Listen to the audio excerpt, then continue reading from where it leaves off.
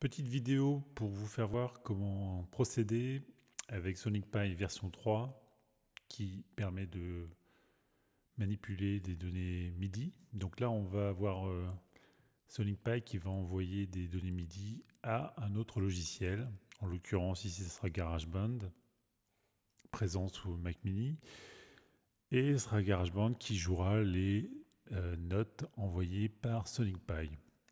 Pour faire cette connexion, ici, pour que vous ayez un Sonic Pi Connect, il faut vous rendre dans votre euh, Finder, ensuite dans Applications, et vous avez Configuration audio et MIDI. Faites un double clic,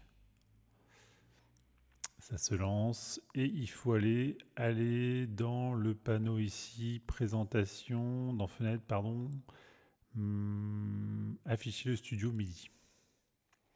Voilà, et donc ici, vous avez quelque chose en rouge, là, et vous allez pouvoir faire un double clic dessus. Donc là, je l'appelais Sonic Pi, là, je l'appelais Connect, comme était euh, indiqué dans le petit tuto. Euh, donc, c'est un gestionnaire IAC. Et il faut bien que vous cochiez le périphérique est connecté. D'accord?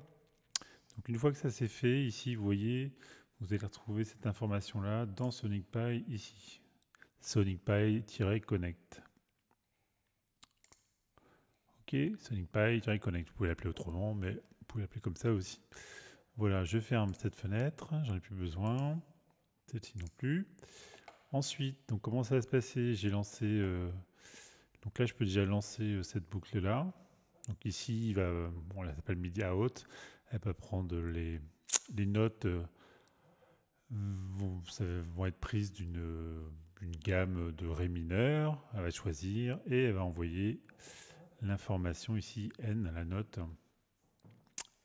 sur le port SonicPy Connect, qui est donc ici. OK? Dans GarageBand, voilà, dans GarageBand ici, on a mis un piano. Donc logiquement, ça devrait nous faire un petit air de piano.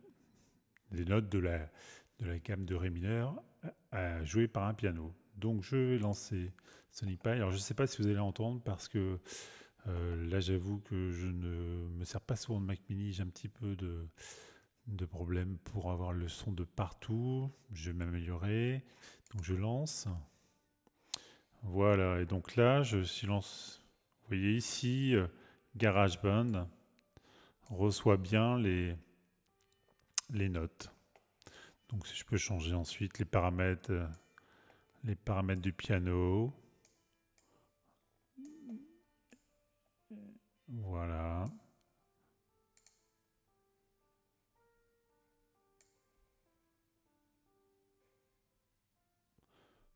Comme je veux, voilà.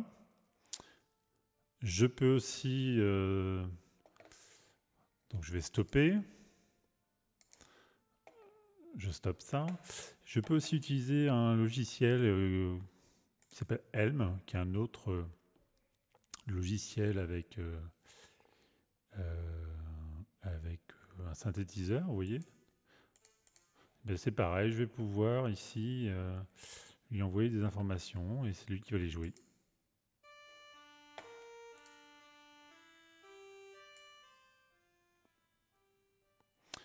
Donc là, à la fois, j'ai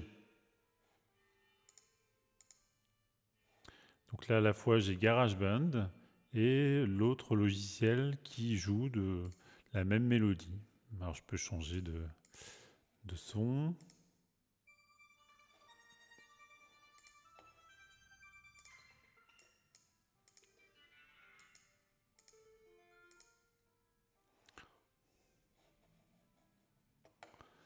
Évidemment, je peux changer hein, de, de gamme.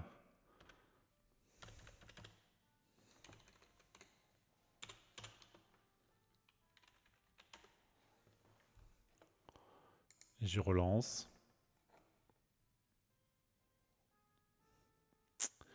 Voilà le principe. Voilà le principe. Donc c'est une très bonne version, la version 3. On attend euh, avec impatience que ça marche un petit peu aussi sur Windows. Voilà, donc l'astuce, hein, c'est qu'il faut bien créer le, le Sonic Pi Connect en passant par la configuration ici. À bientôt